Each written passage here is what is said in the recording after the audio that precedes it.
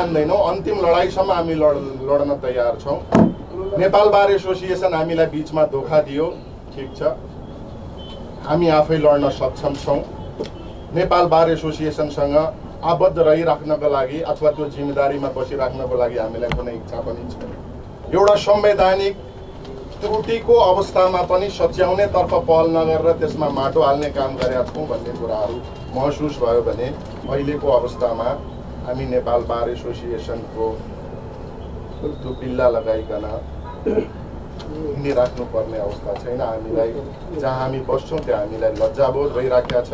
त्यस कारणले हाम्रो राजीनामालाई स्वीकृत गरिपाउँछ आफ्ना सदस्यता नेपाल बार एसोसिएसनको नेपाल बार एसोसिएसनलाई बुझाउने र त्यहाँबाट लिएका जुन लोगो यहाँ देख्नुहुन्छ त्यो लोगो पनि नेपाल बार एसोसिएसनलाई बुझाउने कार्यक्रम छोटकरीमा अहिले रहेको छ। कुरा हाम्रो माग बारले उठाउनु पर्ने केन्द्रीय बारले उठाउनु पर्ने केन्द्रीय बारले बोल दिएन।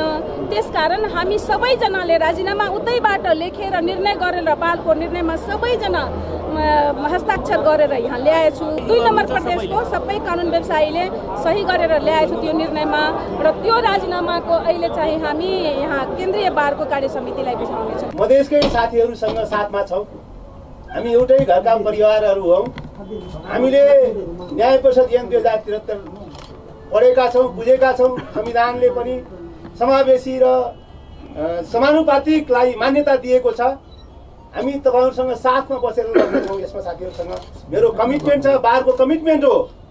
त्यसैले गर्दाखेरि कानुनमा संविधानमा लेखेको कुरा तपाईँको कसैका तागत छैन त्यसलाई उल्ट्याउन सक्ने। कानुनमा संविधानमा लेखेको छ न्याय परिषद ऐन हामीले पढेका छौँ। त्यसैले साथीहरूका माग जायज मागप्रति हामी सँगै साथीहरूसँग लडेर बस्छौँ हेर्नुहोस् किनभने यो यस्तो उतार चढाव भइरहन्छ। हामी सन्तुष्ट छैनौँ। हाम्रो सर्वोच्च अदालत जो अगाडि छ हामी उहाँहरूसँग सन्तुष्ट छैनौँ। तर के छ भने विधि र संविधान सम्मत भएर हामी लड्नेछौँ धर्ना दिनुपर्ने पनि तयार छौँ। हामी तपाईँसँग बसेर आन्दोलन गर्न पनि तयार छौँ। त्यसैले साथीहरूलाई न्याय दिलाउनुमा नेपाल बार सदैव अगाडि बस्नेछ र